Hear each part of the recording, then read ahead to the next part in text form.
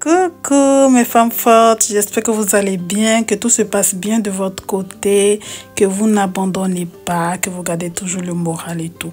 Moi ça va, on se plaint pas, on a la santé et c'est le plus important comme on le dit. Voilà, donc aujourd'hui on se retrouve pour réaliser notre poulet façon barbecue. Rien de compliqué. Allez, on se retrouve en cuisine tout à l'heure.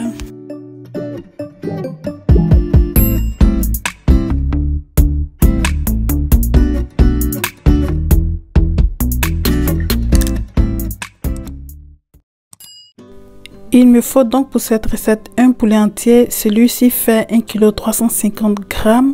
J'aurai besoin de sauce barbecue, de 2 cuillères à soupe de paprika, de 2 cuillères à soupe de moutarde. J'aurai aussi besoin de 3 cuillères à soupe d'huile d'olive, d'une cuillère à soupe de sauce teriyaki. J'aurai besoin aussi d'une cuillère à café de origan pardon, et d'herbe de province aussi, et aussi de deux gousses d'ail. On commence donc par le poulet. Donc, je viens ouvrir mon poulet pour le rendre tout plat. Voilà, je trouve que c'est beaucoup mieux pour la cuisson et tout. Donc, je vais saisir une paire de ciseaux je vais venir découper comme ça pour pouvoir mieux ouvrir mon poulet. Après, je viens ensuite retirer l'excès de gras. Voilà. Donc, je nettoie bien, je retire tout ce qui est gras et tout.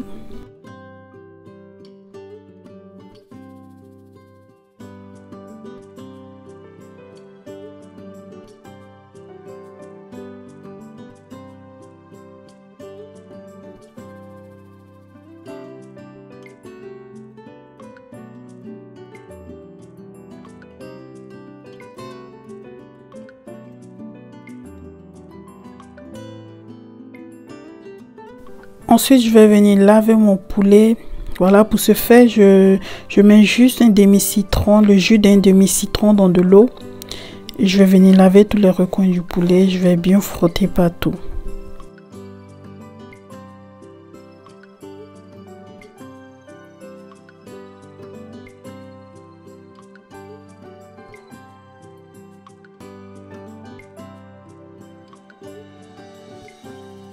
Après avoir renversé l'eau, je vais venir passer du papier sur tout sur mon poulet pour retirer tout excès d'eau sur la peau. Voilà, donc je passe bien pour que tout le recoin soit bien, bien, bien sec.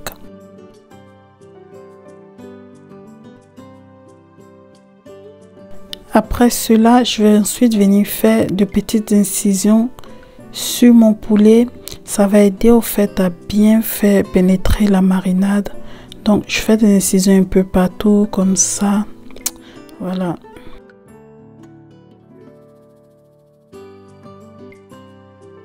On passe donc maintenant à la préparation de la marinade. Pour cela, je prends ma sauce barbecue.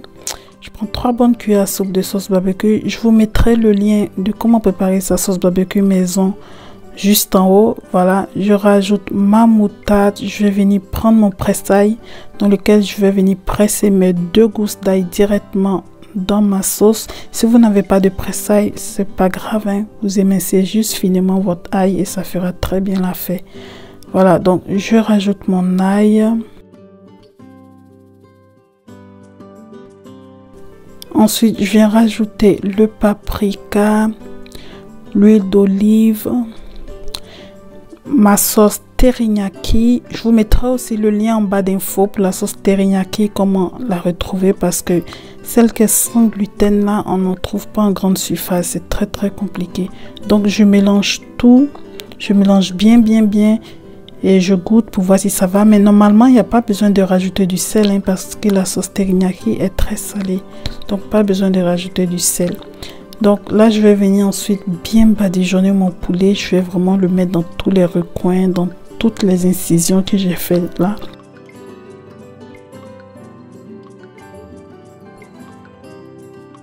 Là, je prends vraiment mon temps. Je vais venir vraiment badigeonner à fond mon poulet. Je le mets dans tous les recoins. Vous voyez, j'insiste même dans les incisions pour pouvoir vraiment faire pénétrer ma marinade vraiment partout sur mon poulet quoi.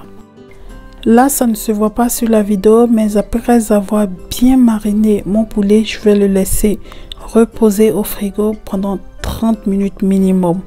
Voilà, après ça dépend du temps qu'on a, on peut le laisser un peu plus. Et juste avant de le cuire, je vais venir rajouter mes épices, c'est-à-dire l'origano et l'herbe de Provence. Et je vais venir rebadigeonner encore mon épice sur la surface, cette fois-ci de mon poulet. Voilà, ça va apporter un petit goût croustillant, parfumé et tout.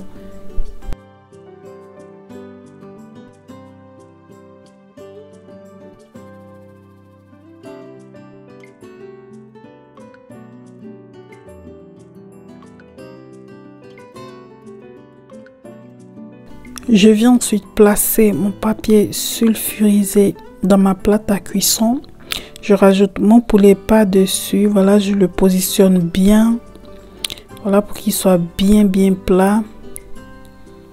Donc là, je vais juste le mettre au four préchauffé à 210 degrés et cuire chaque face pendant 40 minutes. Je vais cuire un côté 40 minutes et l'autre côté aussi 40 minutes.